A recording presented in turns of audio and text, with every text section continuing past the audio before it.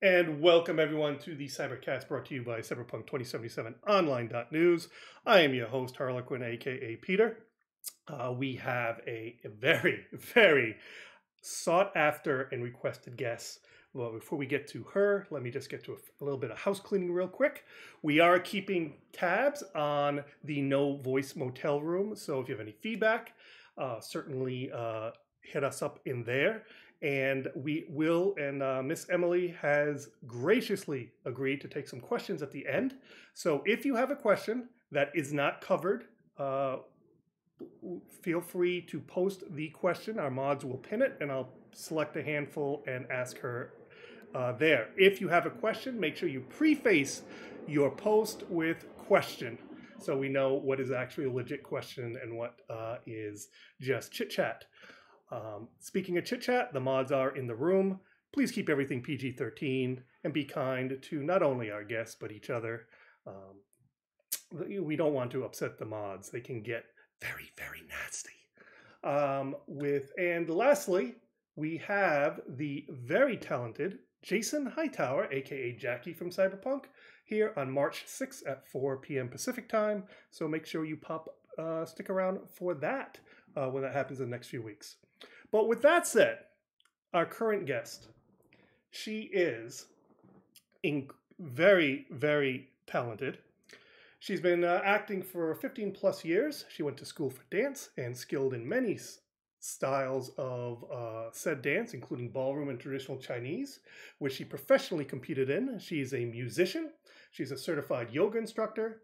While living in Hong Kong, uh, she English dubbed anime at the incredible pace of about an entire season a week.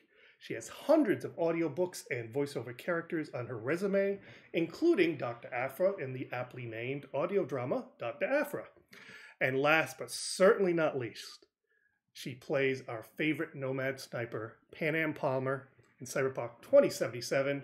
She is the multiple award winning and amazingly talented Emily, Zoo, Emily Woo Zeller. Let's see uh, those Panam emotes in chat. And thank you, Emily, for being here so much. that was quite an introduction. Thanks. Glad yeah. to be here. Thank you so much. And um, to those uh, who may be wondering, yes, Harl is drinking a red blend apothic red. Uh, Emily is going to the gym afterwards, so she's not going to partake. So uh, I, I, don't know if uh, I will be uh, pulling a drinking for both of us this time, but uh, we will we'll see how it goes. So, Emily, um, mm. let's kind of rewind and start from the beginning. Uh, where'd you grow up, and what transpired, either events or people that kind of you look back and you realize kind of got you on the path you're on now? Ah, okay. Um, well, I grew up in Los Angeles. Hmm. Um, but I grew up in the San Gabriel Valley of Los Angeles. So I did not grow up in Hollywood. I did not grow up in the San Fernando Valley. I did not grow up on the west side. I grew up uh, on the east side and now what is called the SGV. Because that's not what we called it growing up. we, we called it the Inland Empire, basically. Um, that's a cool which name. is tech yeah what the inland empire technically refers to just outside of los angeles i believe um that is like you know, when you get deeper in past Pomona and you get into or I guess Pomona might count. But anyway, it's it's a huge area, which is why it's called the an empire. Anyway, I'm I'm getting distracted. So grew up there, um, had parents have parents who are deeply fans of the arts. Um, my father is a musician. He was a professional musician for a long time um, before uh, before he settled down with the family. Um, and my mother is a Chinese immigrant um, whose parents did not want her to get into the arts, so she did stuff on the side for for herself um, outside of school and work, and so she put herself in dance classes and um, there's a lot of in the area, in the San Gabriel Valley area, for those who are familiar, you may know, there's a lot of um, organizations, performing arts organizations that are centered around the many, many, many different cultures that um, people have brought with them as they've immigrated over. So, and particularly on the east side, there's a lot of different Asian cultures. And when I was growing up there in the 80s and 90s, um, it was extremely mixed. I think now it might be more heavily in the Chinese direction, but at the time, um, so I I was involved in a Chinese dance group, of which there were many. I mean, we had competitions all the time because there were so many that we could just, you know, we could host thousands of people in the in audiences and still have competitions. So, um, my mom, the reason I I'm mentioning this with your question is that she was in a dance troupe and she performed and practiced with me while she was pregnant with me. So I've been performing literally ever since utero. Um, That's she put me in dance yeah, me and my sister in dance classes, or both of my sisters once the third one came along, um, as soon as we could walk, basically. Um, and there was always music around and, you know, we got music lessons, um, as soon as we expressed interest, and yeah, I mean, so I've been performing always. So that that's kind of I it was never told to me that I needed to do it professionally. They never expected that. I mean, what parent would wish that on their kid? God. Being being being an artist is not an easy gig. Um, if you want to have some sense of normalcy, if you want to be able to make some kind of steady income, don't be an artist. Um, but but I think it's a in it's crucial. It's a crucial aspect of life. Um, so they were very good about that and and supporting that. And then it became clear that it was something that I did want to try to do professionally. So, um, yeah, I, I never gave up having a backup because I, you know, was uh, didn't. It's there's no guarantee when you get into this kind of work. Um, so yeah. Right.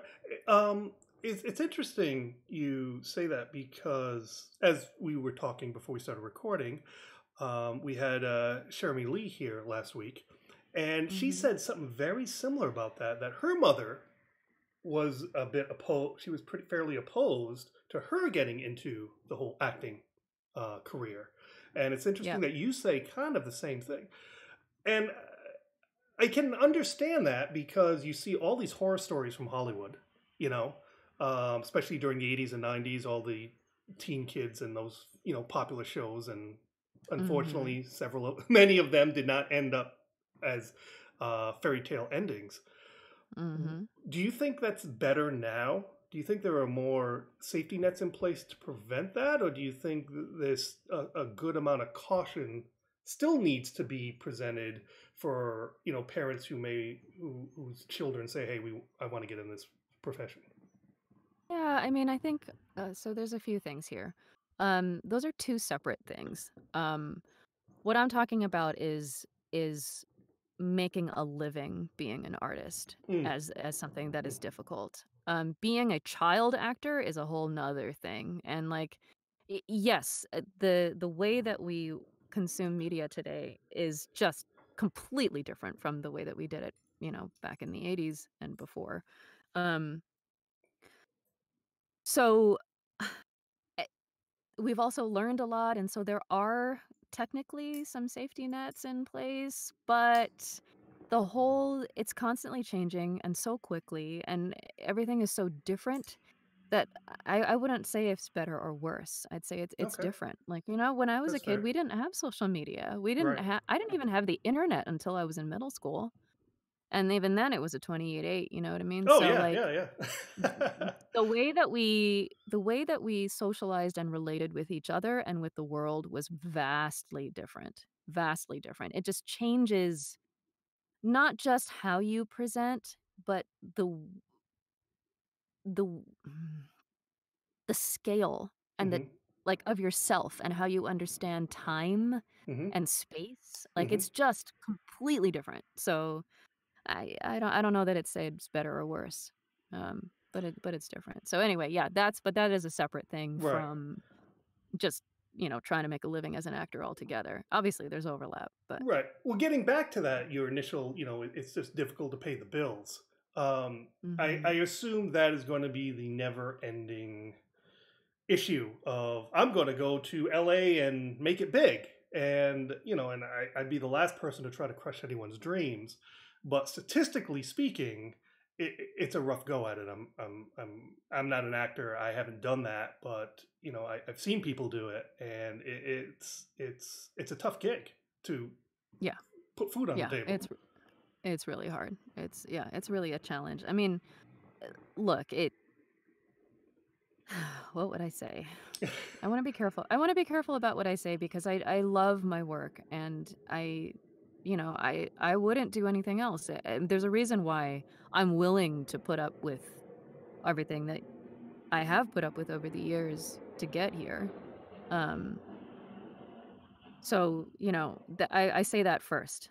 Um but uh, but I also meant it. Like what what parent would wish on their kid a life of having to constantly struggle, you know?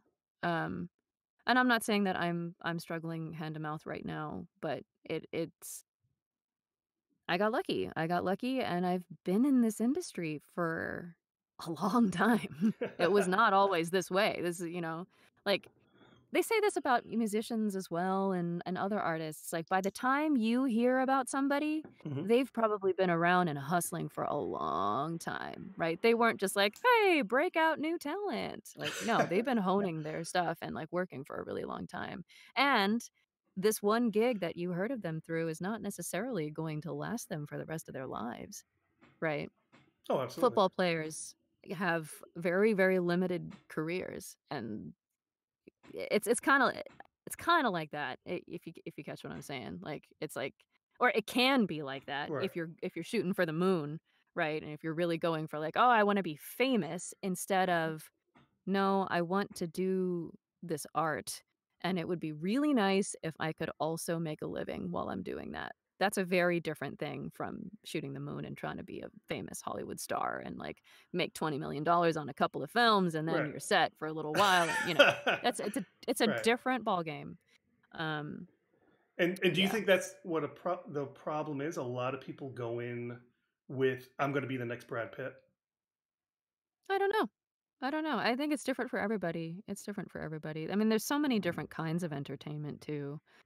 Um you know, we're we're talking about voiceover in video games versus voiceover in any other thing Right. versus acting on camera versus acting on the stage versus dancing versus music versus you know, sculpting versus painting. I mean, there's just so many different and even even like the digital media that I've seen lately from Panam fan art um Oh my goodness. it's so vast. Like it's so there's so really a lot of cool stuff that's out there. I, I'm floored. I'm I don't have a fine art bone in my body.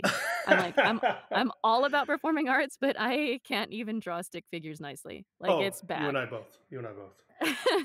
so I really appreciate all of the visual art that's coming out of it. And and it has floored me with just how diverse the the methodologies are, the forms are hmm for digital art. Um, whether it's translating something that somebody did uh, with with pencil or you know traditional sort of more traditional drawing versus like using a software or Right. and such to make to make images. Um, uh, yeah, it's really cool. Anyway, Well, um, yeah. Well, it's funny you say that because I was actually going to ask you a question uh, similar to that, but since you're already on that topic, let, let me just kind of jump ahead here on my uh, little list. Um, mhm. when did you notice the positive fan reaction and the love uh, in the fan art community for Panam? Um, and when you were working on her, did did you get did you subconsciously realize that this character was going to connect on the level it did, or did it take you by surprise? I had no idea. I had no idea. Um, I mean, look, me and Pierce O'Toole, who was the director for the majority of it, and the great folks at Side LA, um, we had a great time with her, and we were like, "God, we love this character, she's so awesome. Mhm. Yes, we get to do, you know, more more lines and more, you know, more scenes with her, yes!" Um, but, like, you know, I was doing my character, I I wasn't I didn't get to do the whole game, right, Right. as I was going along, and, um which is how it how it works. Uh, and then when it was released, um, I got some messages and and influx of notes and stuff immediately, and I was like, "Wow, y'all have finished the game already?" Um, but yeah, it was it was it was a very, very pleasant surprise, um, and when yeah, yeah, she's she's amazing, and I I loved her, and the director loved her, and we all loved her, and so it was really nice to get that to see that other people were also connecting with her. Oh, So, a a yeah. absolutely, and it was funny because when they first started putting out the first promos, it was all about hashtag Team Judy. You know, Judy would seem to be one of the people they were promoting, and and and and, uh, some of the video clips, there were little clips of Panam there, uh, and I Mm. I think even in one of the demos, you know, they said, "Oh, yeah, this is, uh this character is Panam, and you meet her for some missions." I and I I I I if I recall correctly, didn't even go into very much detail. you know, he made it sound like it was a very minor character, and I don't think Mm. anyone realized it until they got the game in their hands, and they realized what a Mhm. significant she's actually a very significant character, and not Mm, only yeah. that, there was this just this immediate connection with her, and, uh, and, uh, so I I just found that just just fascinating how and, uh, don't get me wrong, there's a ton of Team Judy people out there, and and no no disrespect to the Judy fans out there. Uh, you know, she she she deservedly so, Carla did a wonderful job with her. Yeah, Uh, Judy's awesome. oh my god, I love you know, I I uh, I always say, um, you know, the character of Judy is my BFF, and the character of Pan Ma Panam is my waifu, and that's that's that's that's that's just how that's just how I roll. Um, and Mhm. and and, you know, because both characters, they bring 2 very different aspects to the play, and it's the writing, uh, getting but Panam specifically, um, the writing, uh, it really it's very consistent writing, and your performance is amazing bringing her to life. Oh, absolutely. Um, did you have any, um, input to, uh, to the dialogue? Like, you know, like, during the recording, and you're getting in the groove, and you understand the character, uh, we did do you have any opportunity to say, "Hey, you know, I think maybe she would say it this way, or do this a little differently," or something? Did you have any No, input on I that level? no. I did not write the script, but I don't know how much I'm allowed to comment on how that process worked, so Oh, that's I fair, all that's can fair. is that I wa I was not a writer on the project. That's fair, that's fair. Yeah. Um, but irrelevant to that effect, that what she, um but the writing was just incredible, though. Uh, I I was I was. It was, it was great. and she was very consistent, and that's what one of the things I liked about her character.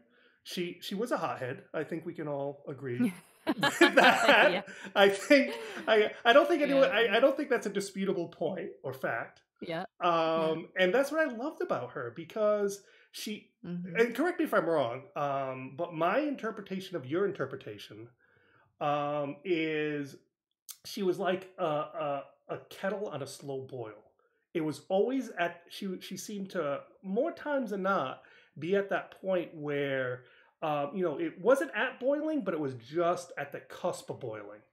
And Yep, if for you sure. If you if something didn't go her way, then it was Mount Vesuvius time. Is that is that kinda how your impression on. and and vision of how what you Yeah, to totally. Mm, totally. Yeah. I think she, um you know, obviously, there was a lot that she's been through in her life, and, um she's fiercely, fiercely loyal Yes, to a fault. Uh, right, to a fault and and protective, um, but that also the other side of that is to be somebody who is constantly on your guard. So that's how I'd actually describe her, is that she's just kind of always on her guard and is prepared for people to distrust her at any moment, right? So um, but once you're in the inner circle, you're in the inner circle. It's just she has to re you have to really prove it to her to get there, right? Oh, So I, that's what I think about her. Yeah. that's cool. Um, dial. Um, we kind of jumped right to the cyberpunk stuff, and I still wanted to talk about Mhm. some of your other work because you've done you've you've Sure. definitely done more than. I mean, we'll, we'll, guys, don't worry. We'll get back to the Panam. That was just a little teaser for you guys. Don't don't lynch me in chat yet. Um, correct me if I'm wrong, but uh, from what I was able to drum up, your voice acting started around 2006 with Gun X Sword, English dubbing anime. Is that is that correct, or am I uh, am I wrong? Well, Gun X Sword was not the very first that I did, Mm. but it was um it was one of the first. Yeah. But yeah, it was about 2006. Yep. Um, how how did you break how did you break into the whole uh, voice dubbing? Yeah, um well, I was living in Hong Kong and I was gigging around doing a bunch of different jobs, uh acting, singing, dancing, teaching and um got connected via the network of um, other actors there, um, English speaking actors, to this audition. And um, I auditioned and took to it like a fish to water. Um, really, there's no other way to explain it. I just got it. It made so Really? much sense to me. And I think that's because I think that's because of the dance background and the music background. Like having to be able to precisely match timing um and rhythm because you you you more or less have to do that with dubbing right like you're matching their flaps their mouth flaps um that just felt so easy and it made so much more sense and i think that a lot of folks who who don't necessarily have that hammered into their background um, but who are excellent actors might find dubbing, dubbing to be a little bit more challenging because you don't get to yeah, stretch the script as much as you might um otherwise. So yeah, I and and that was that. Then that became my my full-time gig while I was out there. Um yeah, so that's that's how I got in there. Um when I came back to the States, it was almost like having to start completely from scratch again. How so? So uh it's just a completely different market. And um the company that I worked for didn't really give me any usable copy. So I all of the work that I did for the year and a half or whatever I was there. And we also weren't given copies of the actual pro- productions. So there's like, there are some people I get messages from occasionally, like randos, who are sleuthing and they're like, "Hey, did did were you one of the actors on this show and this time?" I'm like, "Oh yeah, I was. Do you have because I don't have a copy. Can you please get me a copy?"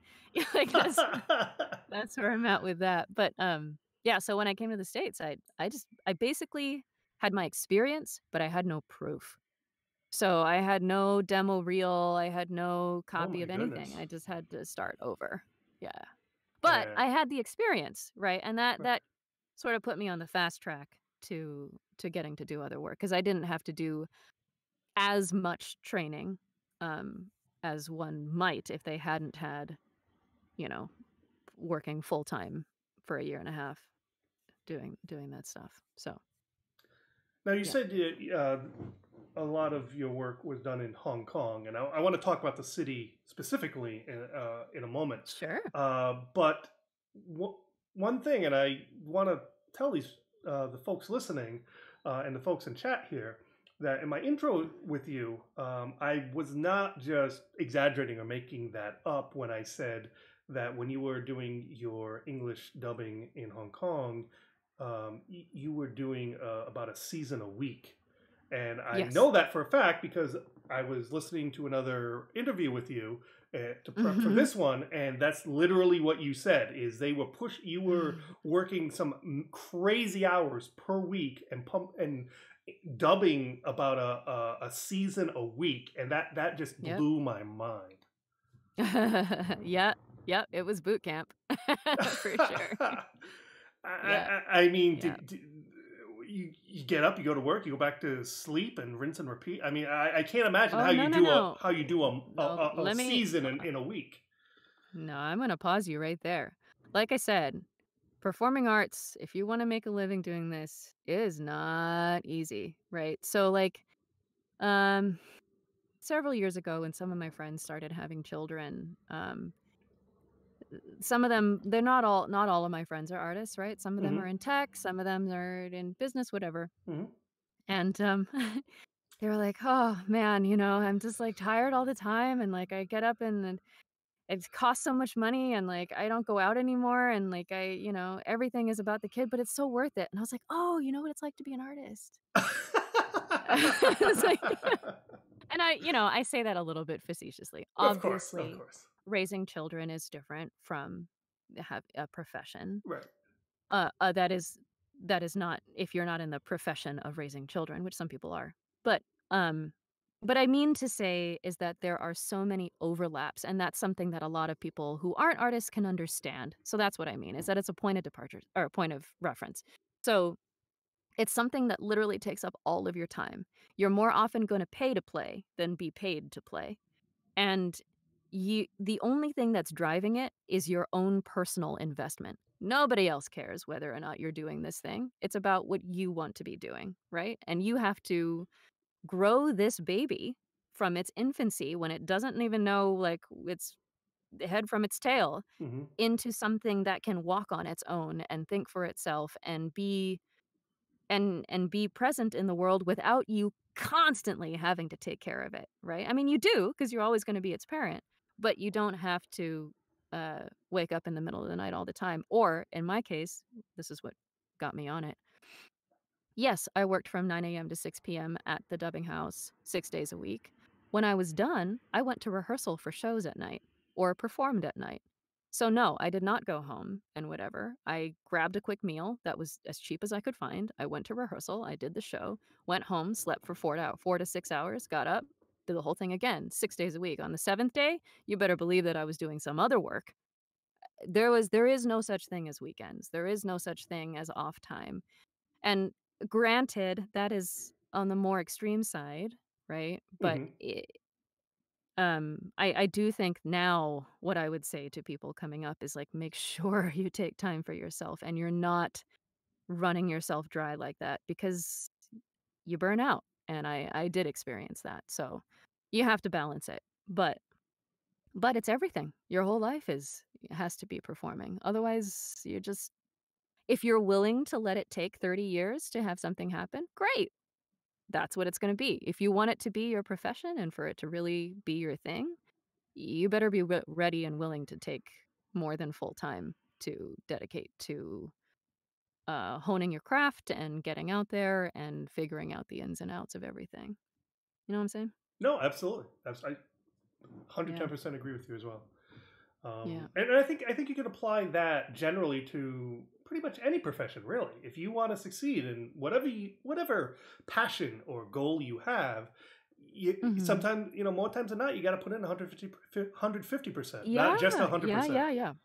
Well, yeah, it's like it's an it's being an entrepreneur, right? It's like Mhm. it is your thing that you are growing. It is it, you can't help but think about it all the time and and Mhm. whatever. Um, but again, I say that knowing that we're Americans talking in America and Americans have a problem with overworking. Yeah. So like, yeah, there is a benefit sometimes, but like it comes at a cost and that cost isn't necessarily always worth it. So make sure that you are taking time to really take care of yourself. Um, you know, and that doesn't just mean paying too much money to go to a spa once every few months. Like, that means sleeping enough, eating well, drinking enough water, like that kind of stuff. Right. Taking time for mental health and spending time with people you care about and doing things that are not the thing that you're spending all your time thinking about because you need to balance. So, yeah, that's what I'd. That's my advice for those kids out there. Grizzled old lady that I am. nice. Now I, I, I do, but I do want to uh, swing back to Hong Kong. Uh, I ha- now Yeah. I've never been to Hong Kong, so I'm going to Mhm. defer to you. But from the pictures I've seen and for what people who have visited have told me, they're like that is the most literal cyberpunk city um, in the world. Is that is that is that true? Is that is that is that a true statement? I mean, look, I haven't I haven't visited all the cities in the world, so I don't feel like I'm actually an authority to say that. Um, yes, there is a lot about it that can feel very cyberpunky. Um, but I think that's also true of a lot of the mega cities in Asia. Um, Sing Really? well, eh, Singapore not so much, I guess. Um, I haven't been to Tokyo, but I've been to Osaka, hmm and I mean, cy you know, eh, big big world cities in Asia in particular, I think, um, because of the density and the rate that technology um, takes off there. Like there, there's right. just they seem to be ahead of us, really, um, constantly. And yeah, so it, it, I can see how Asian cities in general would feel more cyberpunky. I don't know that Hong Kong is it, but yeah, Because I've seen it's certainly. f- uh, No, go ahead. Go ahead. Sorry. No, no, it, I was just gonna repeat myself. Uh, no, because I've seen some pictures, and some of, I mean, just you know, the typical neon lit, huge skyscrapers, uh, narrow streets. Uh, just some of the pictures I've seen of Hong Kong is just, I'm like, wow, that's like, you know, Oh yeah, for sure, for sure. I mean, so look, I, I lived in New York for a long time, and eh, New York is is certainly a big hmm city. Uh, hmm There's no doubt it is the biggest city in the United States. But when I got there after having been in Hong Kong, I was like, "Oh, I have so much space." yeah, yep, yep, yep. you know, it's a, like, why is the subway so slow? This doesn't make sense. You know, like if you you want a real mega city, definitely check out a place like Hong Kong. Like that'll that'll give you some real metropolitan yes, experience. and I've seen some like what in the game would be called mega buildings, and there were like literally some very similar buildings in Hong Kong, and people like living in generously calling them apartments about the Oh yeah. square footage, um, not much bigger than my bathroom, and it's just and, and they're just. It, it is just floor after floor of these micro again, I, I feel calling them apartments is very even studios is very generous. Um, living units, I think, is more apropos. Postage stamps. Yeah, yeah, and and and is that still a? Th- I mean, I don't know how old some of Oh these yeah. pictures Oh are, but yeah. is Oh that still a thing going on there? Oh, of course. Yeah, yeah. Absolutely. Oh my Yeah. god! Where you don't you don't necessarily have a kitchen, you might have a hot plate, Yeah, um, a, a place to plug in. You're we have what's called the shoilet, which is the shower head that is directly above the toilet. So you close the toilet lid when you're going to take a shower, and that's uh, your your your bathroom is you know yeah. what uh, three by three, stall a stall. Um, so yeah, yeah, yeah. That's a that's a real thing. That's a real thing. Americans, I think we we it's very easy for a lot of Americans to take for granted the amount of space that we have. Yeah, for sure. That's great. Uh, that's wow. Yeah, that that's Yeah. when I saw those pictures, I was like, "Oh my god!" If, that was if that was here in the states with us, the the health department would be just like condemned. You know, just like no no Mm, two ways about it, just condemned. well, no, not necessarily actually. I I would say that a lot of those spaces are quite clean and quite well maintained. Um Oh really? so I don't I don't actually think it's unheal- I, unhealthy in that regard. No, no, no, not at all.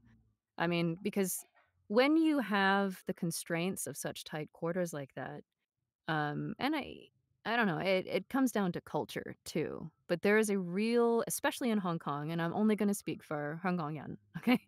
But they're course. very clean, and they're very, um, I guess we are very clean. I'm more Guangdongyan than Hong- than Hong Kongian. For anybody who speaks Cantonese, what up? um, so they they really take care of their space because you don't have a margin of error.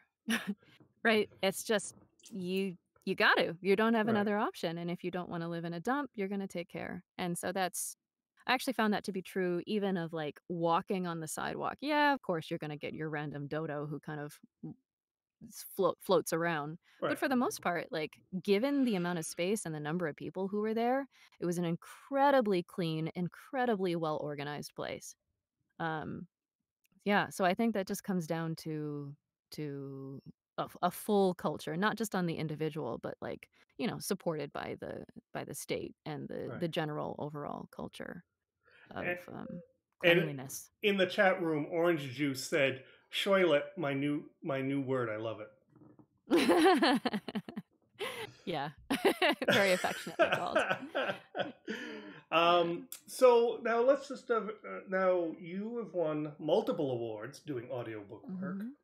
How Mhm. did you get into that?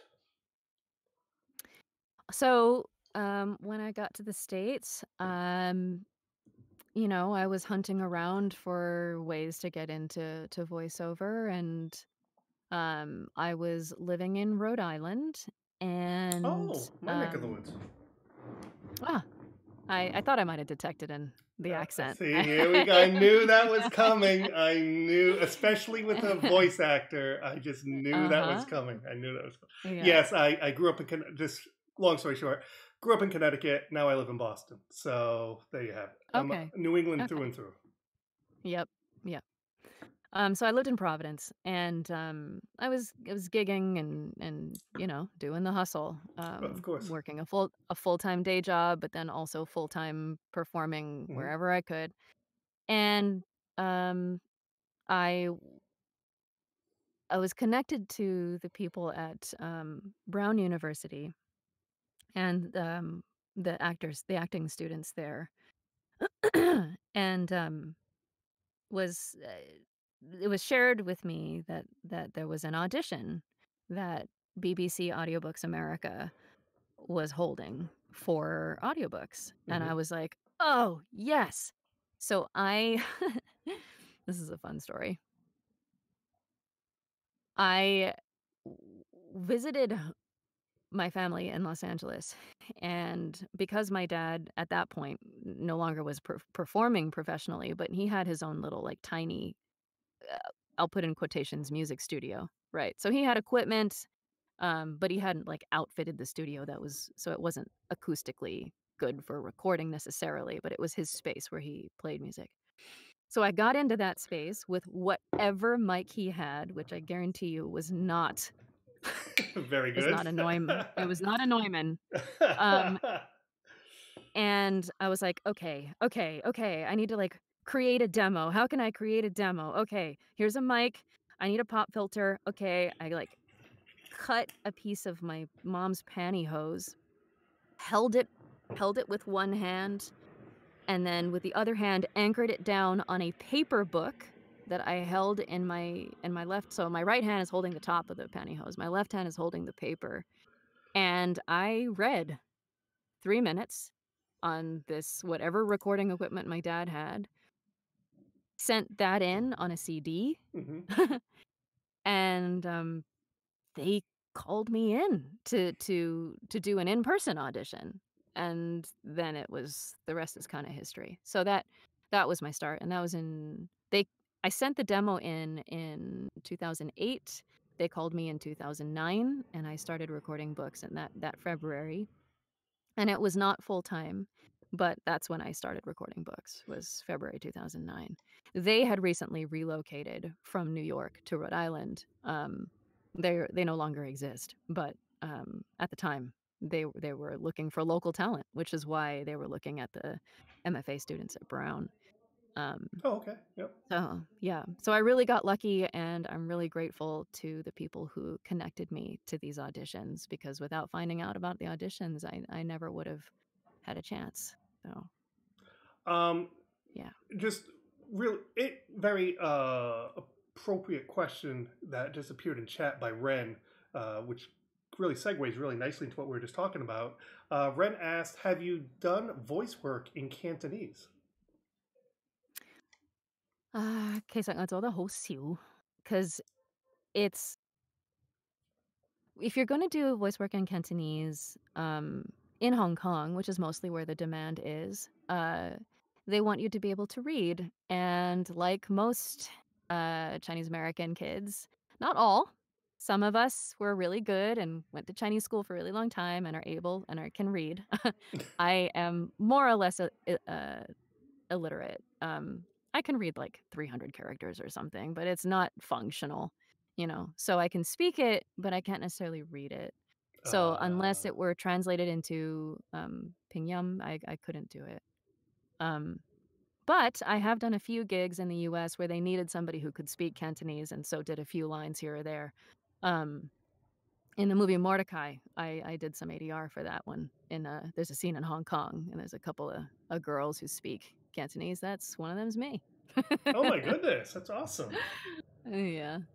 So Uh, occasionally, occasionally. Um, once every ten years. so, what languages do you know? Um, so Cantonese is the fam- is the language my family speaks. Okay. But I also grew up around a lot of Mandarin.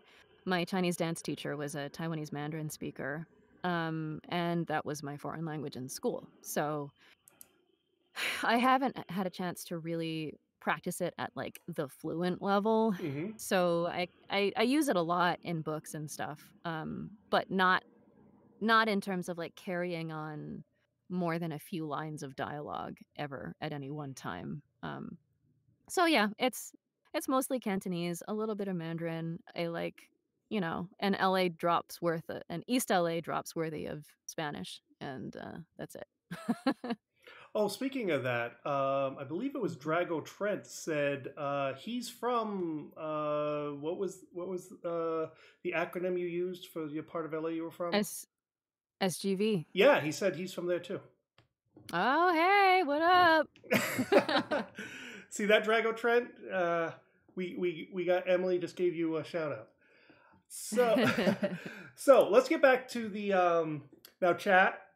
Uh, this is your time where you can now spam some uh, Panam emotes because we are getting back into the cyberpunk questions. We know, we know, we know you love the. Yeah, there we go. Yep, they they love their Panam emotes. They love their Panam emotes. Um, so, and you know the irony is, I don't know if, if if you're not looking if you're not looking at chat or not uh, to not be distracted. I I pulled it up now. Okay. I'm pulling it up now. you see the one where she's smiling with the blue background? Yeah. Panam Yeah. doesn't smile. I am saying that is Photoshop. That is fucking photoshopped. Yeah, people have done a lot of a lot of uh tweaking to Yeah. to her in the fan art. Oh my god. There's um yes, uh th- there there is we'll we'll, we'll, we'll get to that. But yes, the the the amount of art hashtag Team Panam is just inc- just blows my mind. Blows my mind. Um uh where was uh now, now i'm told now i oh my god oh my god what is ha- i don't understand what's happening right now um so how were you first approached about Panam and what was your initial reaction uh with with the pitch Um, well, I have an agent, and um, it came through my agent, like any other audition Mhm. and job. Um, and I was not told. I, I, I, again, I, you know, I, with with the auditions and and such, it's all um, extremely confidential. Of so course, I course. didn't, I didn't necessarily know that I was going to be working on this um, when I was doing the audition. I just knew that it was a game. and so I auditioned like I do with every other game, you know, being as doing as much as I could with what information I had, and then that was it. So so you were given you really weren't giving a whole lot of no, yeah no. So It's all- it was more a voice test, really. It's not, it's not, yeah, it sounds like it was more of a voice test than anything else. Is that is that an accurate assessment? Um, I don't know. I, I, I really can't say. I, I, I think each project is is different. They don't necessarily. eh, Some some projects know the, who they want to work on. Some don't. Some have hundreds of auditions. Some have a handful. Uh, you, you know, it, it really varies, and I, I don't know on on their side what it what it looked like. I just know for me, I got an audition through my agent, and I submitted, and then they called me back and then I did another round and then it was it. They were like, "Okay, we want you for this character." And I was like, "Cool. I don't know who this character is, but I'm going to do my best." And so yeah. uh, when you um, when you actually when you got the job and you actually started, uh, how much at that point, obviously, they were able to give you some information, some background. How much did hmm you have, and how much did you just have to internalize and, you know, uh, figure out in your own head? I don't know what you. y- I don't know what you're asking. Can you be more specific? Oh, sorry. Like like when uh when you got hired as Panam and you knew about this hmm character, how much did hmm how much information were they background information were they able to give you about this character? Uh, was it a fair amount, or was there just well, we, we this is kind of where we think the character is going, and you just kind of had to, you know, uh, j- just internalize and kind of figure things out in your own head about her. Um, I, I don't think I can really answer that question. What I can say is that the director Pierce was amazing hmm in and instrumental in bringing everything together and obviously it was enough i had enough information to to make her real and to give her real emotion behind what was what was happening in any given scene so that that's how I'll, that's what i'll say about that That's fair.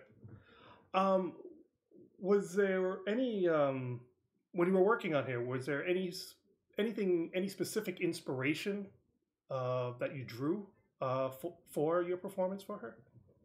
no yeah, no, it was all about I mean, this is acting, right? Like sure, with some characters you might take a, the frame of some he, real live human or some other hmm character and then strip them and then create and then redress them with your own whatever. But like no, it was, you know, this is a woman who is in a she's she's a hothead and she's in a band of people out in who live out in the desert who rejected the night city living and this is the scene that you're in and this is this is who she's interacting with and and that's it. Then i looked at the text and i was like "Oh, okay i got you. And Nice, that nice. was that was what we did yeah Um, you, you so know, uh, oh, go ahead, go ahead. yeah i mean it's you you build characters. That's that's what you do as an actor and you don't you're not alone right? You have the text you have the writers, uh, the the greater storyline, you have the environment. So yeah, it, we we built her together. Nice. And you built her. You did. um, when uh you, you know it's very funny and uh, again i don't know if you were this if uh you were aware of this nuance uh about her character Well, but wait a minute. Hang on. Mhm. H- hang, I'm sorry to I'm sorry to interrupt. I'm seeing Drago made a note about it's great they allow the characters the actors to build the characters. I did not do any writing. I did not write any bit of it. So I just want to make sure that that's not some misinformation that gets out there. Um, it's just that's what actors do when they hire drago what are you when doing dude what are you doing come on now no i just want to make sure you know because i just i don't I, I really care about the game and i really care about um, my work and i just want to make sure that it's all very very clear. Um, yeah that's that's when you hire an actor to do a job you're not hiring a voice you're hiring a person who's going to bring life to a character. Yeah does that make sense that distinction? Oh absolutely. you're not hiring a sound you're hiring a human. Oh i like that that's yeah. I like that that's good. Thanks drago All right, sorry. So, so what were you asking no no no it's fine rudely absolutely interrupted. no it's it's all good um what was I asking? Uh, where, where, uh, uh, now I lost my train of thought. Um, uh, where, oh, uh, did you feel, uh, someone wanted me, I, I submitted questions from other people and they submitted some questions Mhm. to ask you. One of them wanted to know, um, did you feel any connection, personal connection with the character? Did anything in her click with you personally? oh, a hundred percent. I mean, I mean, I love her. like, she's my girl. Like, yes, yes. I, I, I Hashtag get Panam. Palmer. Hashtag Panam Palmer. Yeah, yeah, exactly. Um, well, but that's also, again, I'm going to go back to the acting thing that if you don't have an element of truth, that you can smell that a mile away. So, to do a good job as an actor, you have to find ways to connect with what somebody is saying. Um, when they're you have you know you know what I'm saying? Like, there has to be there has to be truth behind it. With Panam, it was easy because there's so much about her that felt, um, analogous to my own personality. So, I was like, "Oh, girl, I oh, I feel you. Yes." Um So, yeah. um with uh with that said, you know, it was very interesting. Again, I don't know uh, how much you played, actually played the game, but when you actually first meet Panam, uh, you know how there's also t- tarot cards all around the city. Um, uh-huh. the tarot card and the the developers basically said wherever the tarot cards are, that relates to either the person or the location where that tarot card is. And it's funny Mhm. that the tarot card right next to Panam when you first meet her is a strength card. Astrologically Mm. speaking, the strength card is associated with the Leo.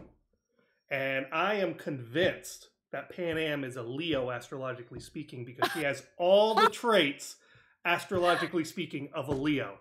She is she's a natural leader. She is uh she she can have a temper uh and a short fuse. Uh she is very passionate and she is very protective of those she loves and she hits all those boxes. That is, uh, a really I like that take. I like that take. So I, I'm I'm I'm yeah I'm, I've I have said it and I know unabashedly no apologies and I am a hundred I will take that I will die on that hill. Panam is a Leo. Panam is a Leo, no doubt in my mind. I can neither confirm nor deny that. I I can only say it's interesting. um, but uh, so yeah, so let's kind of now get back to the reaction. Um, when did you first notice? You said you said that you shortly after the game release. That's when you started seeing all this feedback, this positive feedback about Panam. Mhm. About how, how shortly after the game release did you start seeing this this this tidal wave of which ultimately well whatever turned into a tidal wave of just basically pure love for the character. Mm-hmm. Mm-hmm. Um, it started, uh, like, a day after, basically. Oh It was it was really? immediate. It was immediate. Yeah. Yeah. Orange Juice says, but is Emily a Leo? Hmm, the plot thickens. Uh, no. That is not I was not born in what is it, August? I'm a I'm a pig in the Chinese zodiac. What what date? August. I'm not in August. Oh, you're not in August. Okay, yeah. Oh, I'm not I am not I am not a Leo. Oh, okay. No. I am. So that's why I, I might be a little biased. I might be a little biased. Not gonna lie. Not gonna lie. In full disclosure, I am an August Leo. So, Mhm. um, could you describe the creative differences, uh, if any, between voicing a character uh, like Panam and narration for an audiobook? Do you have a preference? Oh, they're so different. They're so, so different. Um, no, I don't have a preference. I love them both. I really do. Um, they're just different. Um, you know, with video games, you get to really dive into uh, one character or maybe a handful of characters, and like you have it, all of the writing is um are lines that are written for that character. With books, you have a lot of um, exposition and, you know, the narration part of it. And then occasionally you get a scene where you get characters who are talking to each other. But the majority of the stuff is you building the world with your voice instead of just infusing one character with as heightened especially in video games right because the environment is so much more immersive um, and distracting because you have a lot of other noises going on and a lot of other characters that are played by other people and um, different paths that you can take and whatever with an audiobook is one person usually. I mean, sure, with the multicast, whatever. But even then, it's usually like a person for a particular chapter. So it's you sitting with one person who's giving you all of the characters and all of the world and all of the, so the the na- and it's also very much more intimate. It's quiet, right? It's you and that person and a story. It's not "Ooh, lights, sky, la," which like they're both they're both fun. They both have their place. Right, Um, right. so I, I can't say that I I love more one more than the other, but um, I do appreciate being able to do both of them. For me, it feels very balanced that I get to Mhm. do both. So yeah. Um, when you were recording your lines, did either of the either the actors who played uh, Valerie or Vincent did, did you have any of their lines to play off of at that point, or were were you were you just reading off the script and you just had to put it in your mind what you know their what they were saying? Mm, honestly, I don't even remember. I don't remember. That's fair. Sorry, I can't answer that one. No, that's it's all good. Um, and my last question before we take a few uh, questions from the Peanut Gallery. That's a really old reference, huh? Showing my age. um, uh, in the ending where uh, the player chooses Johnny to take over the body, um, you may recall Panam's voicemail to him at the end. She's Mm. basically like, "Listen, you took V from me. I'm going to hunt you down like a dog." Ba- uh, basically, that's her voicemail.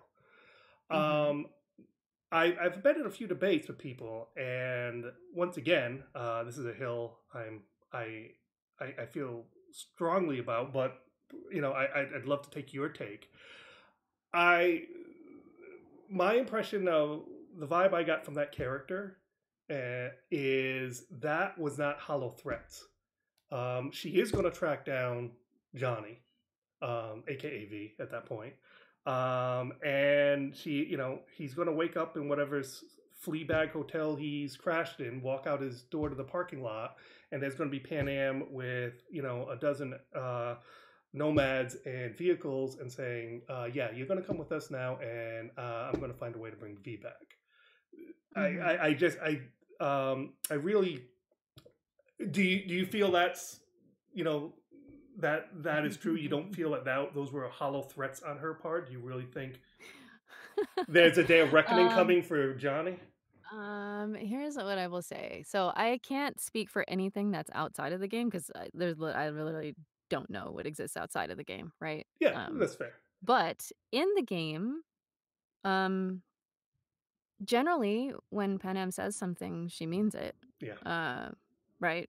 That's that's generally true. And I think even if regardless of whether or not she ends up following through on the threat, she definitely meant it when she said it. So That's I fair. know that's kind of a No, no, no, that's fair. But I mean, But you, think you know the character better than anyone, so that's why I wanted to get your take on that voicemail, Yeah. uh, on that particular ending. Um, Yeah. yeah, Yeah. No, she she means everything that she says. Um, whether or not life will allow her to follow through on things or not, that's, That's a true. whole nother thing. that's but that's that's fair. Yeah, but but she does she doesn't seem the person of hollow threats. I I just don't No. get that vibe from her at all. I mean, if Yeah. if Panam left me a voicemail like that, I'd be looking over my shoulder constantly. I'm, just- I'm just being honest. I, I, I, it's like this girl is going to kill me. I mean, it's just that. That's that's just the vibe I get from the character, and um, right. you know, I, I got you here. You are the you are the source of the character, so you, you know the character better than anyone. So I figured I'd uh, ask you that. So with that said, let me uh, pull up some of the uh, questions my mod. Oh my goodness. Oh my goodness. Okay, guys, there's no way we can go through all these questions. Yeah, I don't have too much more time. Yeah, yeah. Sorry. No, no, no, no worries. Let me just. Um, uh, I can maybe take like two questions. No problem. Not- no problem. Um, uh, let's see. Uh, oh, geez, guys, there's so many. Uh, uh, we kind of answered some of these already. Oh, here we go. What about the world of cyberpunk interests you the most? That's a good question. Huh. Hmm. Me personally? Yes, you personally. Hmm. Um. I mean, so how would I say this? Um, I think like a lot of us in 2020 and 2021 are um concerned about the world And I think that in general, Cyberpunk, not just this game or even the original game that it was based off of, right? But um, I think that it serves as a warning. I think it serves as a tool, like any story, honestly, to talk about what could happen um, and what what about human nature remains the same or what shifts according to our environments and so those big questions i think are what interest me about cyberpunk in general and then that it's also true for the game um yes those big questions about humanity and what what it what do we really need to feel human and how do we adapt to spaces and all of that yeah That's fair. Um, and the last question What was your favorite Panam scene or exchange in the game that you did? That's that's almost like asking you who's your favorite child, isn't it? Yeah it is I mean, okay, so like I was talking about the difference between, you know, getting to do big characters and hmm voiceovers versus or in uh, video games versus doing uh, much more intimate reads in in hmm audiobooks. Um, I would say the same for Panam. Like it was so much fun to go on a ride with her and like destroy some shit. Um, but also also like when she's having a beer with V, hmm man, that's what's up. You know, like it's kind of both. So, yeah. I I guess those those 2 kinds of moments when, um And we yeah. started this conversation talking about um, red wine, and we ended this conversation talking about beer. So I, I I feel I feel those are two good bookends for this conversation. Indeed, indeed. Indeed. Well, Emily, thank you so so much. Uh, I really appreciate it, and uh, hopefully, if there is some more work as Panam down the road, I would love to have you back. Thank you. And, um, just so everybody knows, I am doing a Reddit AMA on Wednesday, February 24th, um, at, uh, I believe the time is 3 PM Eastern, and I'll be on there with, um, uh, a colleague of mine, Gabra Zachman, and we're gonna be answering questions just about voiceover in general. So if people have more questions, um, we're happy to to to talk then. And is there any So other uh, projects or sites or anything you want to promote or put out there into the pipes of the internet? Um, yeah, sure. I mean, the the the project that Gabra and I are working on specifically is something that's called Love Bites Originals, and we are producing short story romance and erotica. Um, so it's uh uh, we've we've released our first season and it's called Nice and Naughty.